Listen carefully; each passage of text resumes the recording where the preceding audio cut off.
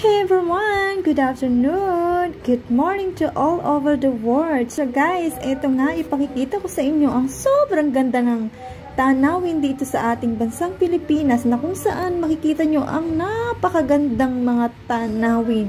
Oh my God! Check guys na magugustuhan nyo at masisiyahan kayo sa mga makikita nyo tulad ng forest, ocean, and ang ating kagubatan na sobrang ganda at linis ng mga tubig sa ating kapaligiran at nakakamangha talaga at sobrang masisiyahan ka kung ito ay makikita mo at lalo na kung aktual na mapupuntahan mo kung ikaw ay mahiling mag-travel.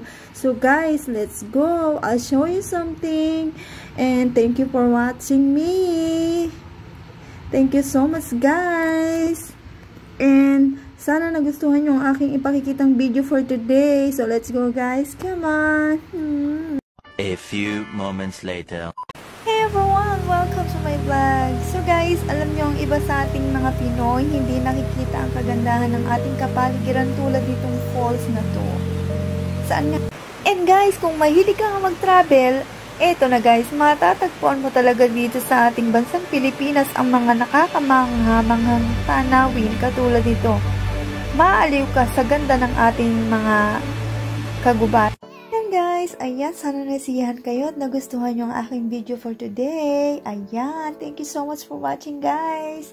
See you next time. Bye-bye. Hmm. Hmm. Oh my!